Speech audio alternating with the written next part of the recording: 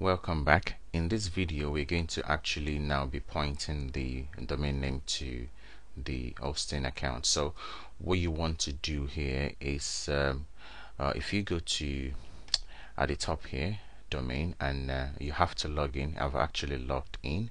I'm trying to minimize the uh, amount of information that is being reviewed in this video because you can't trust people on the internet. So this is why I can actually be clicking around so um, just bear with me. If you go to the domain name at the top here and click on uh, manage domains it's going to take you to the page where you have all your domains stored. Then you click on the one that you need. Right here I've clicked on the one of my domain which is html4 dummies.com so what you want to do is click on the domain name server setup right here.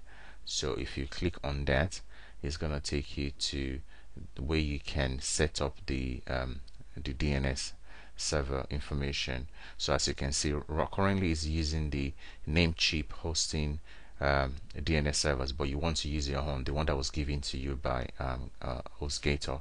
So what you do is click on specify custom DNS and you can type in the two um, uh, DNS uh, address that uh, was given to you. So if you type the first one and you type the second one here as well the first one.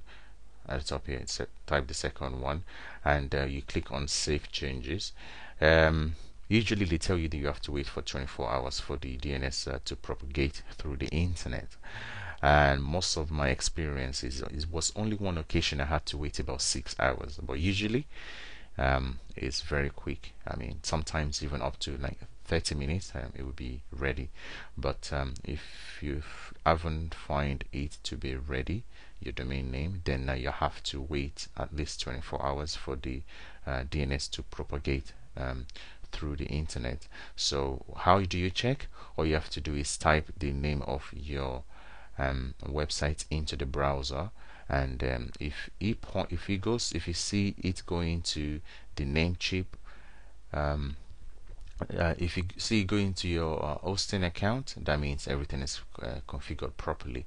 So uh, this is what um, this is the final uh, setup video. So I hope you've gotten this far. If you haven't if you have any problem please leave me a comment and I will see uh, how I can help you because it's actually very straightforward. So the next thing will be now to install the um, the next will be to install this um, uh, WordPress so that we can uh, get going. So I'll see you in the next video. Thank you